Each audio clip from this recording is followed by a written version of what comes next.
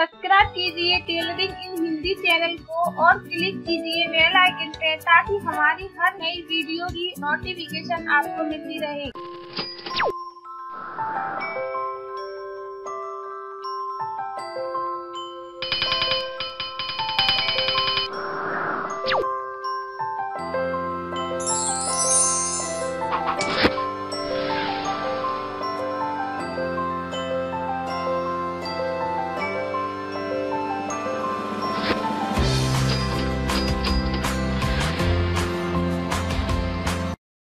नमस्कार, आज मैं आपको बताऊँगी कैबरी कटिंग एंड स्टिचिंग ये हमारे पास सूट का कपड़ा है, बचा हुआ।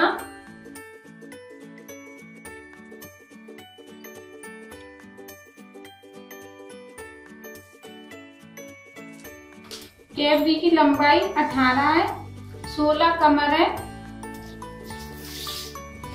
तो हमने ये कपड़ा डबल किया है।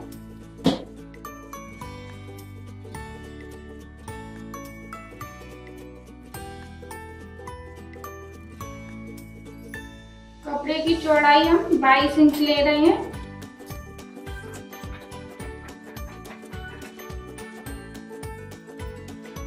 एक कपड़ा हमने डबल कर लिया है। अब हम इसको इस तरीके से डबल करेंगे।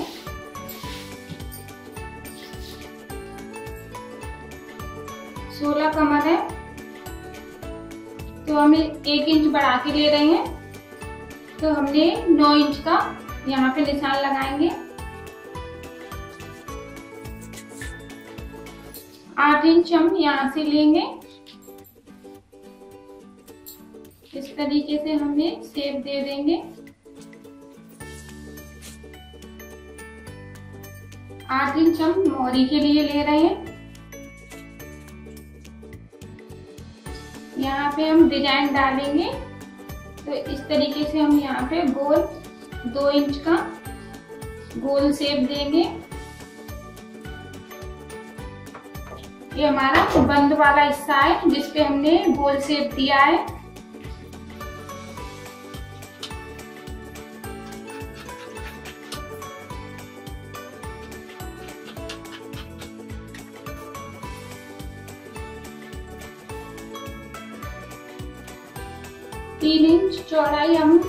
पे इलास्टिक के लिए लगाएँगे।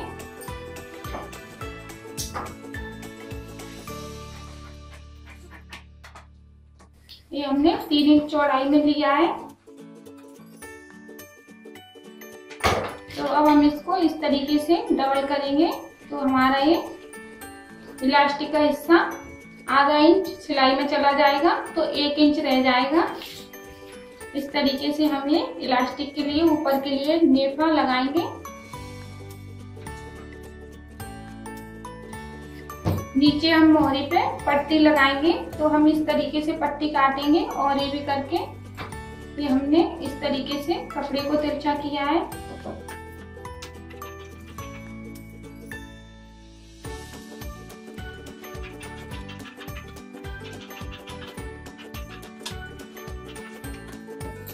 यहाँ पे हम ये पट्टियों को लगा के गोल और ये नीचे की तरफ़ अब मैं आपको इसकी स्टिचिंग बताती हूँ। सबसे पहले हमें ऊपर के लिए नेफा बनाएँगे। ये हमारा सीधा हिस्सा है। तो पहले हम इसको इस तरीके से बराबर दोनों को रख लें, जिससे हमें आसानी होगी जोड़ने के लिए। ये हमने दोनों पल्लरों को बराबर रख लिया है। अब हम इसमें से एक पल्लर ये वाला लेंगे। एक पल्लर हम, ये दूसरा वाला। तो इसको हम इस तरीके से सिलाई लगाएँगे। जैसी हमारी कटिंग हुई है, गोल, उसी तरीके से हम इस पर सिलाई लगाएँगे।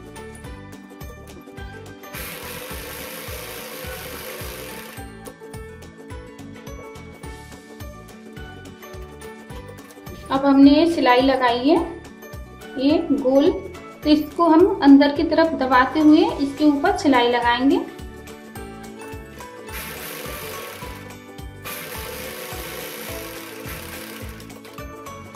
ये हमने सिलाई लगा ली। अब हम इसके ऊपर इलास्टिक डालने के लिए नेपे को लगाएँगे।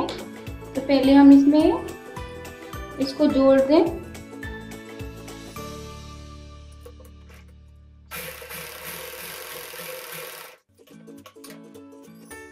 यहाँ पे हम थोड़ी सिलाई लगा लेंगे।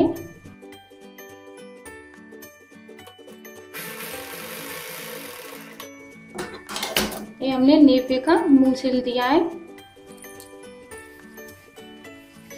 अब हम इसको उल्टे लंग से लगाएँगे। और एक कैबरी में हम थोड़ी चुन्नट भी डाल सकते हैं, सीधा भी लगा सकते हैं।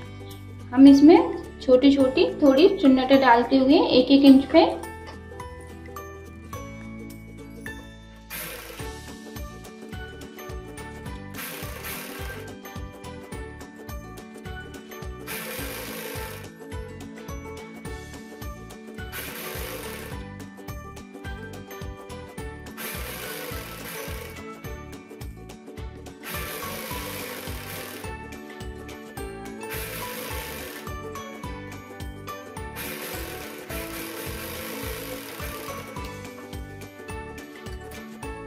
अब हम इसको नेपे को इस तरीके से मोड़ के सिलाई लगाएँगे।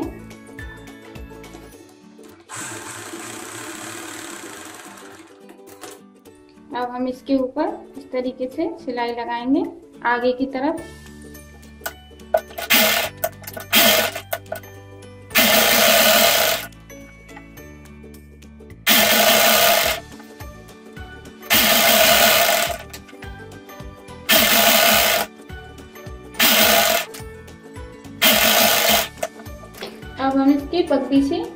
सिलाई लगाएँगे।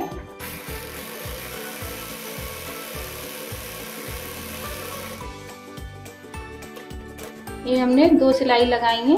अब हम इसके ऊपर से एक सिलाई लगाएँगे।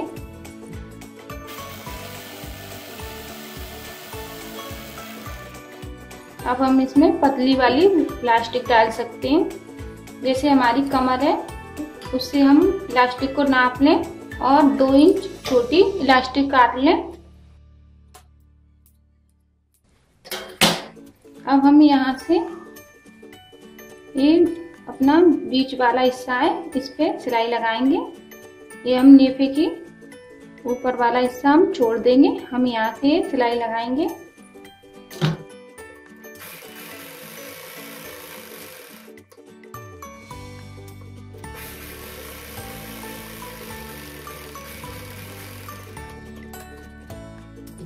ये हमने पहले बीच वाले हिस्से को सिला, फिर ऊपर से सिलाई लगाई है। अंदर का कपड़ा दबाते हुए अब हम सिलाई को, बीच वाली को दूसरी वाली से इस तरीके से मिला के इस तरीके से हम एक सिलाई लगाएँगे।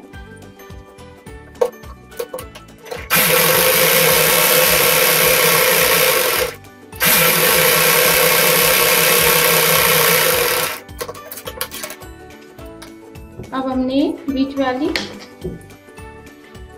सिलाई लगा दी है। अब हमें बगली पे जो हमने पट्टी काटी थी, वो लगाएँगे।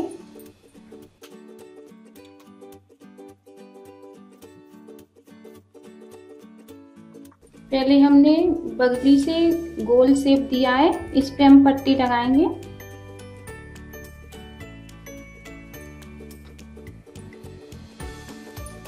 उल्टे लंग से लगा रहे हैं पट्टी को।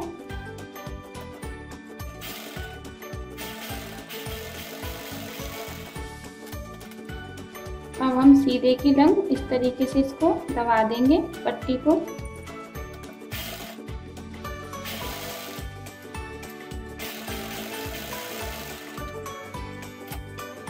इस तरीके से हमारा गोल शेप बन गया है।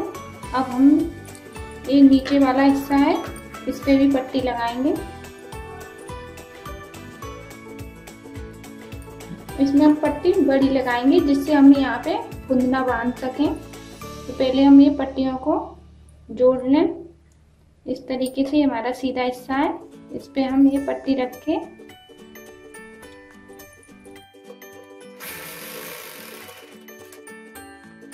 आगे की लंग हम जितना बड़ा पुतना बनाना चाहते हैं उतना हम कपड़े को छोड़ दें और उल्टे लंग से हम ये पट्टी को लगाएँ। उल्टे लंग से लगा रहे हैं हम।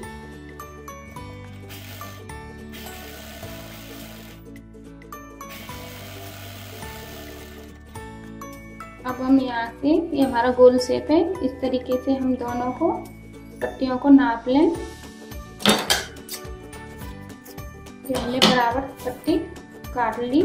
अब हम ये पट्टी पे इस तरीके से सिलाई करते हुए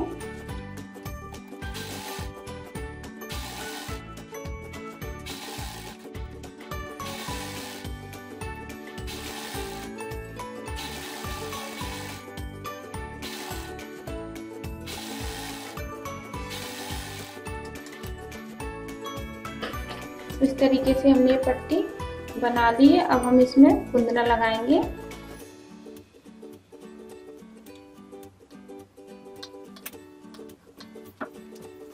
तो एक कपड़े को हम इस तरीके से चौकुटा करेंगे।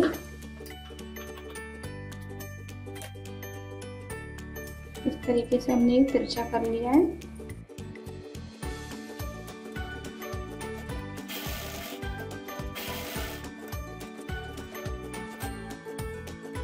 हम इसको अंदर की तरफ़ करके इसके ऊपर से सिलाई लगाएँगे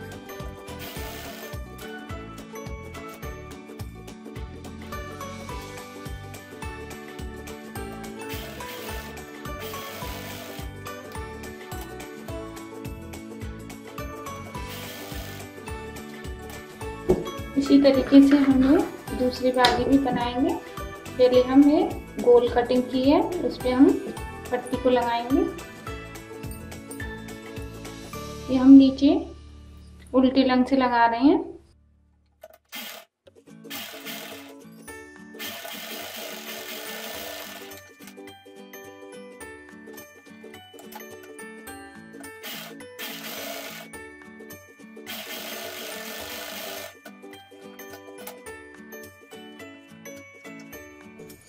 हमने पट्टी को उल्टे लंग से लगाया है। आगे की लंग, सीधे लंग हमने ये पट्टी को पलट दिया है। अब हम ये जोड़ेंगे।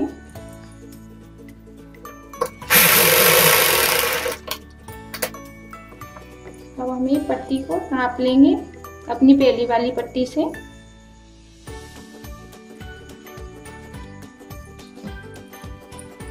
इसको भी हम उल्टी लंग से लगाएँगे और सीधे लंग पलटेंगे।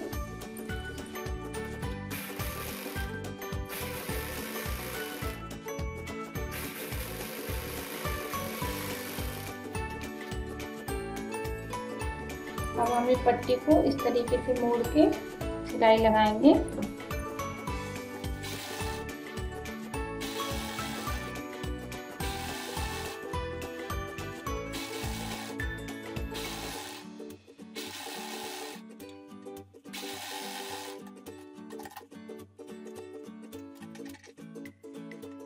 अब हम इसमें भी कुंदने इस तरीके से डबल करके लगाएँगे।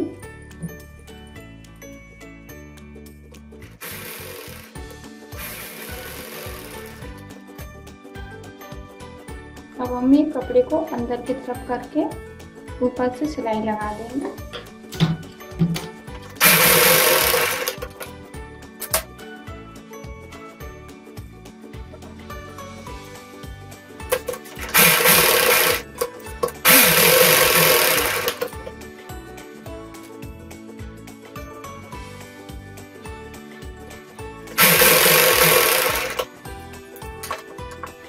तरीके से ये आपकी दूसरी।